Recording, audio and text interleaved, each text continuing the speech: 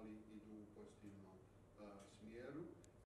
Predstavnički dom ili parlamentarna skupština Bosne i Hercegovine je bila u blokadi skoro čitavu 2019. godinu. Bila je riječ o jednoj um, potpuno neracionalnoj, antiustavnoj blokadi rada najvećeg zakonodavnog tijela Bosne i Hercegovine. Neustvajanje zakona koji znači napređenje Um, pravnog, ekonomskog i opće funkcionalnog sistema Bosne i Hercegovine a posebno neusvajanje financijskih sporazuma čiji je ukupni finansijski obim bio veći od milijarde eura, dakle preko dvije milijarde konvertibilnih maraka, imajući vidu da su ta sredstva bila namijenjena za realizaciju izuzetno važnih projekata iz oblasti komunalne infrastrukture, sobraćajne infrastrukture, e, zaštite okoliša, privrednih aktivnosti, a to naravno znači ekonomski napredak Bosne i Hercegovine i otvaranje novih radnih mjesta.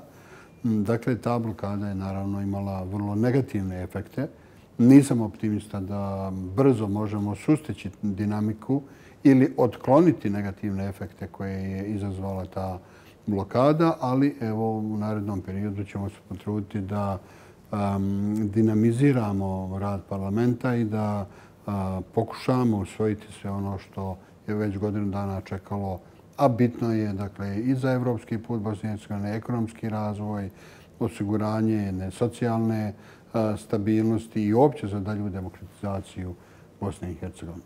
Najlošija poruka koju smo poslali Evropskoj uniji zbog blokade rada prije svega parlamenta i različitih, vrlo često neracionalnih, uskopolitičkih ucijena koje smo imali u 2019.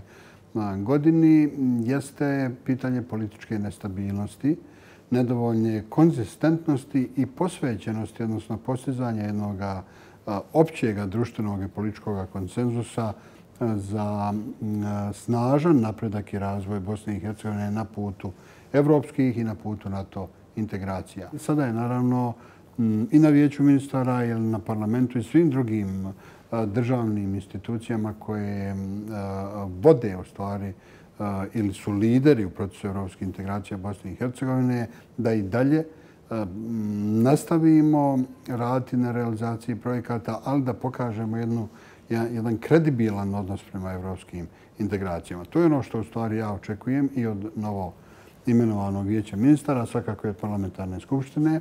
Dakle, vijeće ministara da nastavi sa realizacijom mjera i aktivnosti koje smo definisali u usvojenom akcijnom planu. Njih je više od 700, ali radimo ih etapno. Neke su od njih pokrenute, neke su u različitim fazama svoje realizacije. I da naravno ono što su preporuke iz mišljenja Evropske komisije, vezano za parlament, da odmah ide ka parlamentu. Sve ono u stvari što je u ukupnim regionalnim, međunarodnim i geopolitičkim odnosima dobro za Bosnu i Hercegovinu, očekujem da će biti podržano u ovome parlamentu.